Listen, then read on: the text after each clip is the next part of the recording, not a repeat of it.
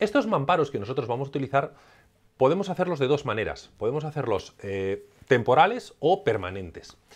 Eh, yo en mi caso, por ejemplo, lo hice de una manera temporal. Yo construí unos mamparos de mentirijilla solamente para utilizarlos como molde para acoplar el, el núcleo. Yo fui añadiendo el núcleo y cuando el núcleo estaba completamente terminado, lo que hice fue laminar la parte exterior, poner la fibra en la parte exterior.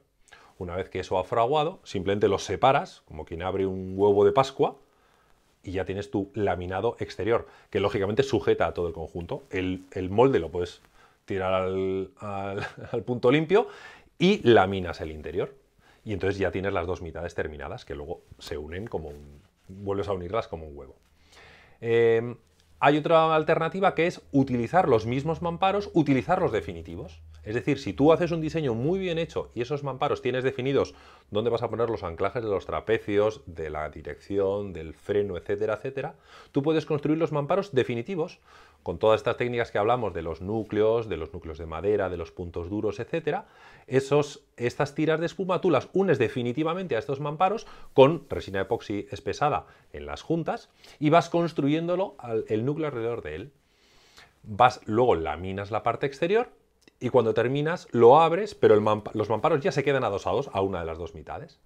Ya puedes laminar el interior del, monocasco tiene el inconveniente de que ya no puedes tirar, como en el caso anterior, eh, telas enteras desde la nariz hasta la punta, porque lógicamente están los mamparos que te interrumpen.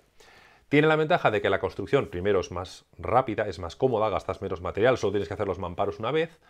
Y además es más precisa, porque los mamparos ya quedan alineados en su sitio, que luego el alineamiento del, mamparo no es tan fácil, porque lógicamente siempre tenemos unas tolerancias y unos que luego tenemos que corregir. Con lo cual, el construirlo de una sola vez, yo no lo hice porque no, no lo pensé, pero quizás pueda ser un camino más, más adecuado.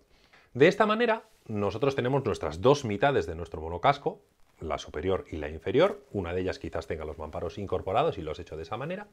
Y eh, tendremos que unirlos. Lo primero, lógicamente, será cortar el sobrante, porque nosotros siempre que laminamos, si nosotros tenemos que llegar hasta un punto, siempre se lamina 3, 4, 5 centímetros más. Y luego se corta por la, por la, línea exacta. Se pone una cinta adhesiva y se corta con el disco de corte a la altura eh, precisa. Porque lógicamente no puedes eh, laminar justo a tal borde, no tienes suficiente precisión, te pasas y luego cortas.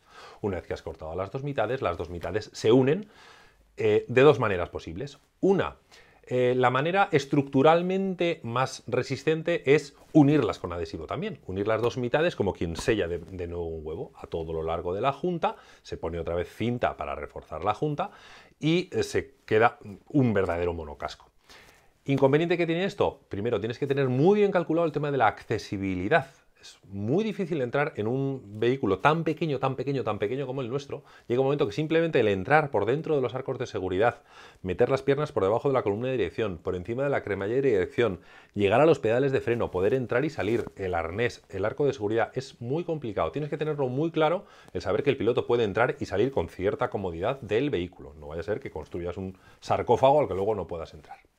Segundo inconveniente, si lo construyes de esta manera, tienes que abrir luego ventanas para acceder a los elementos mecánicos. Tienes que abrir una ventana en la parte delantera para acceder a los pedales de freno, poderlos montar, eh, poder ajustarlo para llegar a la columna de dirección, etcétera, etcétera. Tienes que tener previsto esa apertura de, de ventanas.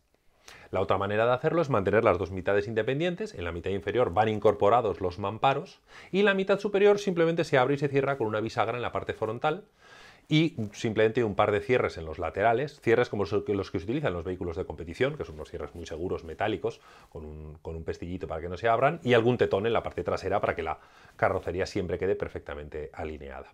Desde un punto de vista estructural es mejor, evidentemente, el hacerlo de una sola pieza, pero la accesibilidad mediante este otro sistema es infinitamente mejor. No tienes que abrir ventanas, puedes hacerlo más pequeño, el área frontal más pequeña posible, porque mm, te ahorras este problema de la accesibilidad incluso en tema de, incluso en un accidente es más fácil sacarte de ahí dentro, quizás pueda ser un, compromiso bastante razonable.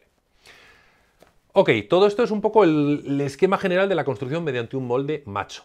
Mediante un molde hembra, simplemente el molde en vez de ir por dentro del vehículo, lo que va es por fuera. En vez de nosotros hacer una especie de óvalos que van a definir a nuestro vehículo, cogeremos unas tablas rectangulares que quedarán apoyadas en el suelo y recortaremos una especie de C de gran tamaño, mirando hacia arriba, una especie de U mirando hacia arriba, en las cuales iremos apoyando eh, las tiras de espuma que van a conformar nuestro monocasco y laminaremos primero la parte interior.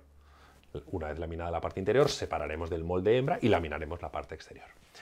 Este sistema, lógicamente, mm, gasta más material, las, cuadernas son más, grandes y eh, no puedes aprovecharlas para utilizar los mamparos interiores. Pero es una opción muy habitual, por ejemplo, en la construcción de barcos, desde siempre se ha utilizado mucho lo que son los moldes hembra.